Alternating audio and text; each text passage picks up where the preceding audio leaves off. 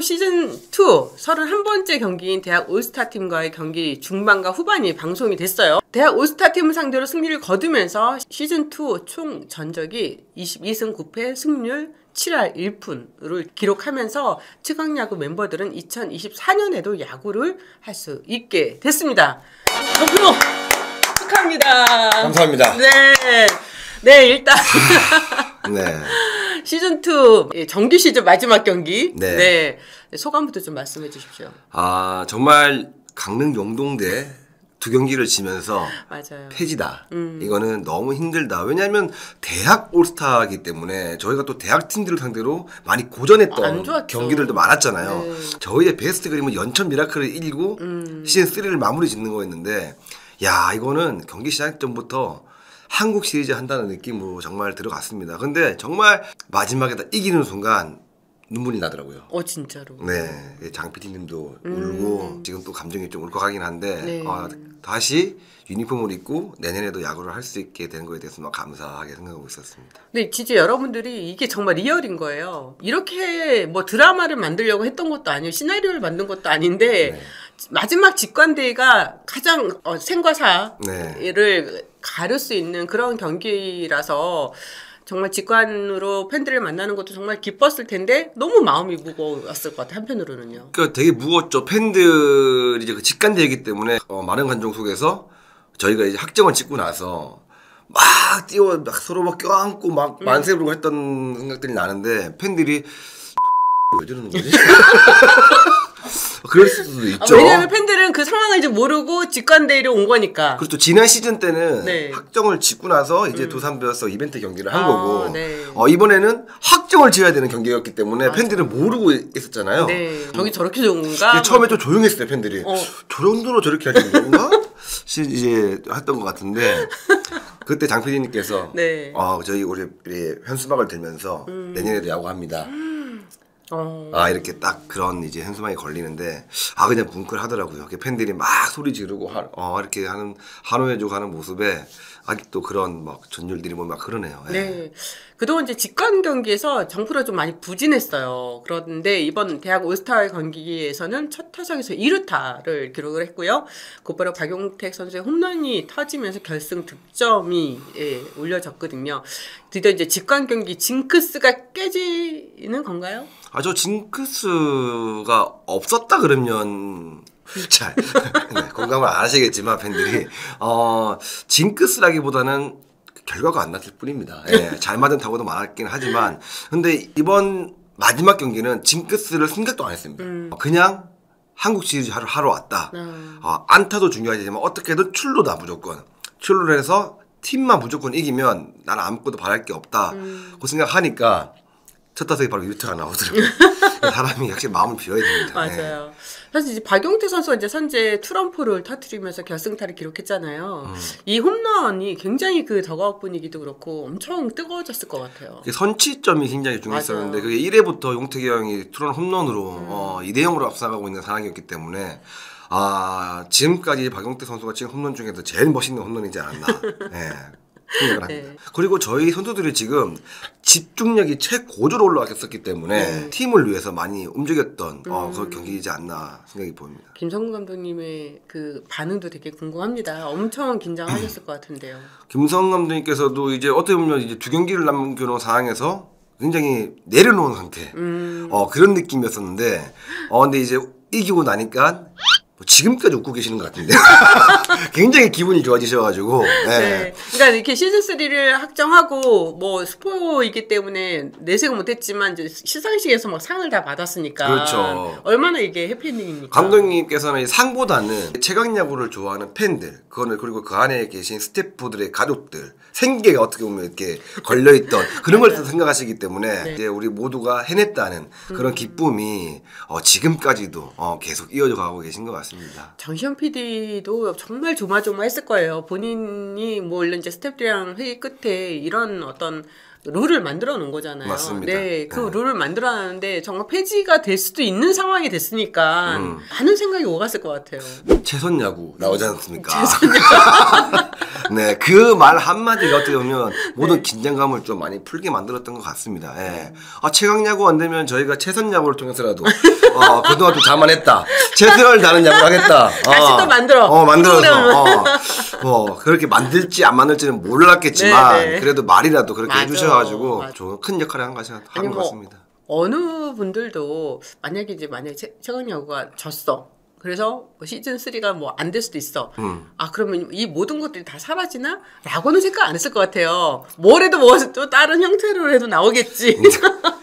근데 장 PD님이 네. 전화가 오셔가지고 좀 술이 좀 거하게 되셨더라고요. 그래가지고 저도 좀 술이 좀 거하게 돼 있는 상태였는데 네.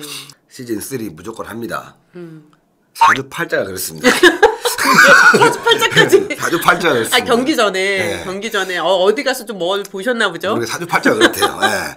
영동대한테 게임 지고 연락이 지고. 오셨어요. 어, 어. 오셨는데 연천 미랄 끝나고 나서 또 이제 대학 선발팀이라 하기 전에 또 전화가 왔어요. 음. 맨정신이에요. 네. 술안 드시고 무슨 일이십니까 했더니 별 뜻은 없고 그때 보니까 전화를 했더라고요.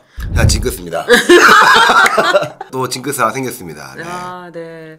이제 아까 말씀하신 것처럼 이제 경기 후에 정말 엄청난 세리머니를 선수들끼리 주고 받았는데 그 이제 다 끝나고 관중들 다 나간 다음에 그 이후에 또 어땠습니까 분위기가? 그냥 이제 저희가 클로징을 할때 음. 좀다 같이 좀 눈물을 좀 많이 글썽였던 것 같습니다. 네 그리고 다들 초조했거든요. 음. 이제 유니폼을 입을 시간이 올해가 마지막이 아닐까라는 좀 그런 생각들이 있었는데 다시 또 내년에 유니폼을 입고 야구를 할 수 있다는 그런 기쁨에 다 같이 좀 눈물을 많이 글썽했던 것 같습니다. 아, 네. 시즌 1, 시즌 2 사실 최근 야구 처음 시작할 때만 해도 이게 지금 시, 시즌 3까지 갈 거라고는 막 예상 전혀 상상도 못. 하셨을 것 같아요. 네. 이게 이렇게 갈 수 있는 힘이 뭘까요? 그래도 뭔가의 미션이 걸려 있고 음. 어, 야구를 좋아하고 또 무엇보다 제일 중요한 거는 저희 팬들 팬들의 이런 열렬한 응원이 없었다 그러면 예능이지만 정말 리얼로 정말 이렇게 열심히 음. 준비를 하면서 할 수 있었을까라는 생각도 들고 뭔가를 좀 지키고 싶다 계속 하고 싶다라는 욕심을 은퇴가 나서 별로 없었는데 음. 최강야구를 통해서 또 그런 마음들을 또 새롭게 느끼고 있는 것 같습니다. 또 이제 직관이 또 있잖아요. 이벤트 경기로. 네, 그렇죠. 네. 네. 그래서 여러 이미 이렇게 다 촬영도 다 끝났어요. 그렇죠. 네, 네. 이번에 올스타팀과 시구자가 김하성 선수였어요. 네 맞습니다. 어, 저 깜짝 놀랐는데 네. 이벤트 경기 때는 또 엄청난 시구자가 나온다면서요? 그거는 또 방송으로 확실하게 될것 같습니다. 네, 엄청난 시구자가 나옵니다. 아, 최근이가 정말 대단한 것 같습니다. 아니 내가 볼 때 시구랑 네. 애국가 이렇게 예청하시는 분이 섭외력은 와 저도 깜짝 깜짝 놀랍니다. 네. 2024년 시즌 이제 시즌 3를 위한 뭐 훈련 스케줄이나 뭐 소리 캠프 이런 게 진행이 될까요? 어, 지금은 저희도 네, 이제 네. 비시즌 기간입니다. 네. 네. 그래서 좀 있으면 며칠 뒤에 저도 연봉 협상하러 들어가야 돼가지고 어아 연봉 진짜요, 진짜로? 네 연봉 협상이 끝난 다음에 어 X를 보면서 연습 스케줄 잡도록 하겠습니다. 어 근데 정프로 연봉 협상이라는 거는 그동안 이제 고가 네. 그쵸. 네. 네. 그 다음에 성적. 네. 네. 이런 걸 갖고 평가를 하면서 음. 뭐 잘릴 수도 있고 더할 수도 있는 거잖아요. 잘린다는 표현보다는 방출이라고 표현을 해주세요. 네. 아, 아니, 뭐 팀을 나가게 되는. 네, 네, 네. 네. 뭐 그런 일은 없겠죠. 그거는 잘 모르겠습니다. 아마 뭐 협상 과정에서 또 틀어지면 나갈 수도 있겠죠. 근데 여기는 네. 뭐 트레이드를 얘기할 수도 있는 상황도 아닙니다. 어, 맞아요. 갈 팀이 없어요. 갈 데가 없어. 네, 없어요. 네. 그러면 또 내년에도 트라이아웃 이렇게 또 진행이 되겠죠. 그렇죠. 네, 새로 어. 또 선수들이 수급이 돼야 되니까. 왜냐면 또 이제 프로를 간 학생, 어, 음. 선수들도 있고 하다 보니까 또 트라이아웃을 통해서 좋은 선수들을 또 영입을 해야죠. 네. 아, 최강야구 시즌 3가 확정됐다는 반가운 소식을 전합니다. 네. 프로야구 10개 팀들이 재정비된 전력으로 2024 시즌을 준비합니다. 그런데 이번 스토브 리그는 지난해와 달리 좀 큰 움직임은 보이지 않고 있어요. 1월 말이면 비활동 기간이 끝나고 각 구단별 1차 스프링 캠프가 시작되기 때문에 그 전까지 전력 보강이나 외국인 선수, FA 등이 완료돼야 하겠죠. 그중 지난해부터 계속해서 관심을 받고 있는 팀과 선수가 있습니다. 바로 하나 이글스와 유현진 선수입니다. 2024 시즌 비상을 꿈꾸는 하나는 유현진 선수의 복귀에 대한 희망의 끈을 놓지 않고 있습니다. 참고로 최근 그 손혁 단장과 전화 통화를 했다고 들었는데요. 네. 예, 유현진 선수와 관련해서 뭔가 좀 들은 내용이 있나요? 일단 유현진 선수에 관해서는 결정된 바가 없기 때문에 굉장히 또 말씀하시는데 조심스럽고요. 이게 말들이 많이 나오면 지금 유현진 선수 입장에서 굉장히 좀 어, 힘들어지기 때문에 좀 조심스러운 어, 얘기를 좀 하셨습니다. 아, 네. 뭐 하나구나 측에서도 매년 이맘때쯤 뭐 의례적인 식사 자리다라고 큰 의미를 부여하지 않았어요. 손흥 단장과 유현진 선수가 만났잖아요. 네. 근데 그 만나는 게 어떻게 나 오는지 저는 이해가 참. 근데 뭐 시청 뭐 팬들이 다 아, 시다시피 네. 아직 문은 열려 있는 상태고 결정은 유현진 선수가 해야 되는 선택이기 때문에 하나 측에서는 그 문은 열어놓은 것 같습니다. 아, 네. 네. 유현진 선수가 어, 공식적으로 취재진을 만난 자리가 지난 11월 13일 LG와 KT 한국 시리즈 5차전을 보기 위해서 잠실 야구장을 방문했을 때였거든요. 네. 네, 당시에도 뭐 어쩔 수 없이 이렇게 이야기할 수밖에 없었을 거예요. 메이저리그 구단의 이야기를 좀 들어봐야 된다. 뭔가 12월 중순쯤 뭔가 나오지 않을까 싶다라고 했는데 12월 중순쯤 헐- 훌쩍 넘어섰고 우리 이제 1월이기 때문에 뭐 미디어에서도 그렇고 팬들도 그렇고 너무너무 관심이 많이 있는 것 같아요. 정프로 다 아시다시피 이번에 메이저리그의 그, 대- 그 대역급 그쵸, 음, 움직이 네. 좀 늦었죠. 네, 네. 오타니와 야마모토. 네. 이 대역급의 어, LA 움직임 말고는 지금 다좀 늦은 편이잖아요. 음. 네. 어, 여전히 브레이크 스넬, 조던 몽고메리, 네. 마커스 스트로먼 등 장기 계약을 노리고 있는 FA 투수들이 많이 있습니다. 네, 네. 왜 늦어지는 부분이 있을까요? 근데 스넬이랑 몽고메리의 에이전트가 스캇 보라스예요. 네. 에이전트 스캇 보라스가 이들의 계약에 먼저 집중을 한다면 류현진 선수의 계약 시점이 조금 늦어질 가능성도 있는데 또 하나 뭐 이들의 계약을 계약에 집중한다고 해서 다른 거는 진행이 안 된다 그건 아니거든요. 네. 보라스 코퍼레이션의 모든 스- 어, 에이전트 업무를 스캇 보라스 혼자 하지는 않아요. 그렇죠. 네. 여러 에이전트가 있기 그렇죠. 때문에 그거에 대한 결정을 이제 최종 결정은 스캇 보라스가 하는 거라서 보라스 코퍼레이션에서도 다양한 선수들의 FA 계약을 진행을 하면서 류현진 선수도 좀 알아보고 있는 것 같습니다. 준척급 FA 선수들에 대한 시장의 수요가 굉장히 높기 때문에 류현진 선수는 사실 좀만 기다리면 분명히 음. 예, 분명히 좋은 내용의 계약이 발표가 될 것 같고요.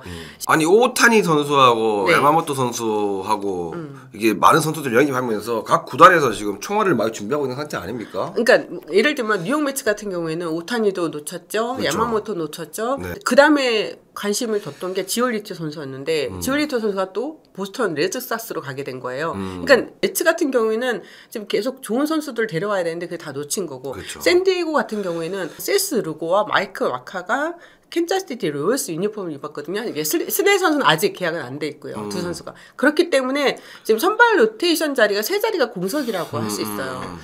뭐 샌디에고 입장에서는 류현진 선수에 대해서 당연히 관심 관심을 넘어서는 그런 움직임을 저는 갖고 있다고 생각을 하는데 아, 아마 1월 초에서 1월 중순 사이에는 네. 뭔가가 이야기가 나오지 않을까라는 생각이 들고요.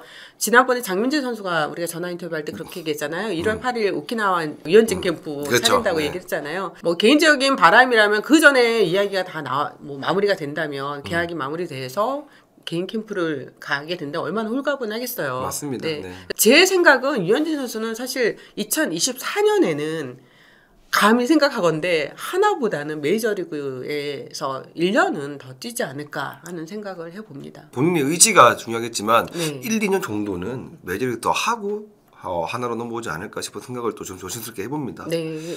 네, 하나 이글스가 사실 이제 지금 어, 김가민 선수도 영입을 했고 이지현 선수도 최근에 또 다시 영입을 했었잖아요. 네. 이제 베테랑 선수들이 포지션을 차지하면서 뭔가 좀 팀이 좀 더 더 탄탄해진다 하는 그런 생각이 드는데 정프로는 어떻게 생각하세요? 음. 일단 뭐 손혁 단장님도 그렇게 말씀하셨지만 김강민 선수가 오면서 그 외야의 수비의 능력치 그다음에 오른손 대타 요원 어떤 면 한화 이글스의 좋은 외야 수들이 커가는 과정이기 때문에 김강민 선수한테 이 외야수들의 뭐 첫발 스타트 뭐 이런 뭐 외야 수비의 기본기 이런 것들을 좀 많이 선수들한테 많이 알려주라는 그런 의미도 분명히 있었고 어 이재원 선수 같은 경우에는 최재훈 선수가 주전으로 있지만 박상언 선수가 올 시즌 백업으로 활약을 하면서도 많은 경기에 나가지 못했단 말이에요. 네. 어, 이재원 선수를 데리고 와서 우승 경험도 있고 어, 팀에 안정적으로 뭔가를 설명해서 돌아갈 수 있는 어, 그런 그림이 있어가지고 선수 단장이 김강민 선수와 이재원 선수를 영입한 것 같습니다. 하나가 2023년에 네. 8연승을 하면서 쭉 내려갔던 네, 상황들이 네. 있지 않습니까? 네. 이제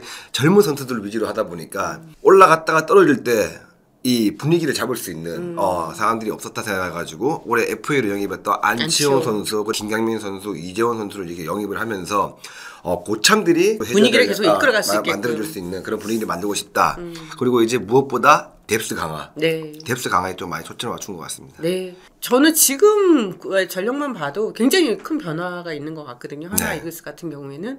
근데 거기에 딱 방점을 찍을 수 있는 류현진 선수. 음. 까지 합류를 한다면 한화는 정말 지난 시즌에 비하면 굉장히 많이 상승된 전력 강화를 보여주는 거기 때문에 음. 뭐 구단에서도 그렇고 팬들도 그렇고 류현진 선수를 기다리는 것 같아요. 또 일부에서는 아니다 메이저리스 더 뛰길 바란다 하는 분들도 있고요. 네, 이 결과는 조금만 더 기다려 보면 될 것 같습니다. 이번에 FA로 LG 트윈스에 계속 잔류하게 된 함덕주입니다. 아 축하합니다.